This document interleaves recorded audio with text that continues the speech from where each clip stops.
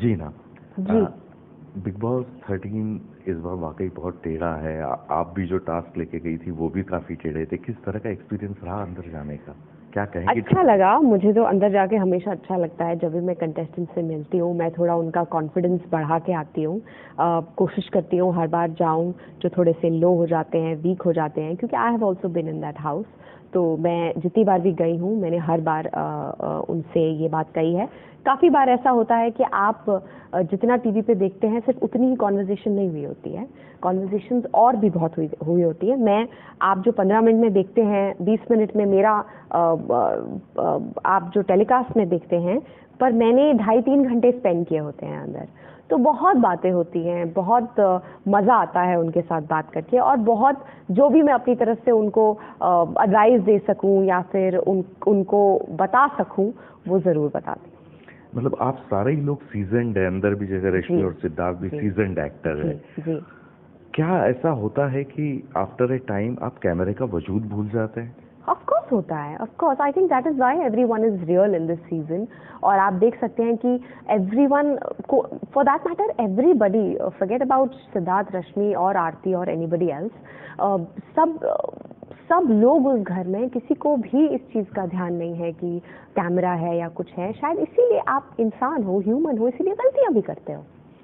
But don't you think so कि इस बार जो है अ, सारे आर्टिस्ट ज़्यादा हैं फिर भी? टास्क के नाम पे क्रिएटिविटी कम है मारपीट लड़ाई झगड़ा टास्क तो करते ही नहीं है।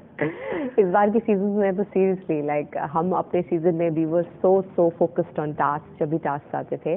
बट आई अग्री इस बार के सीज़न में हमें टास्क काफ़ी कम देखने को मिले। बिकॉज़ उनको लड़ने से फुर्सत नहीं है सबके सब बस एक दूसरे का सर फोड़ना है सबको। टास्क नहीं करना है किसी को। मतलब इतना खेमेबाजी आउट ऑफ़ हाउस हो गया है कि इतने स्ट्रांग खेमे बन गए। कि आप जब गई थी तो आप पूरा पूरा ट्विटर पे वो एक आंदोलन चला कि हिना ने आरती के साथ गलत कर दिया।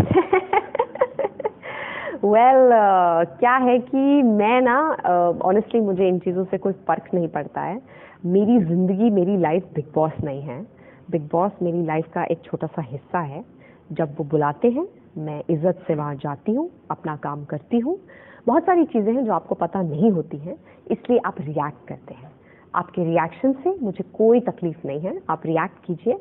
But all I says you don't know a lot of stuff So when we go inside, there is a lot involved, not just us as actors, creatives, time, क्या करना है स्थिति कैसी है? तो ये सब चीज़ें आपको नहीं पता होती हैं।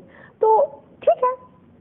एक आखिरी सवाल आपको काल आपकी फाइनलिस्ट किस किसको देखते हैं? आप आई थिंक मेरे हिसाब से it it I um, Shahnaz, Asim, Siddharth, Rashmi. I see them in top four. And क्या कहेंगी चाहने वालों के अपने फ़िल्म देखिए 7 फरवरी को हैग्ड यस थैंक यू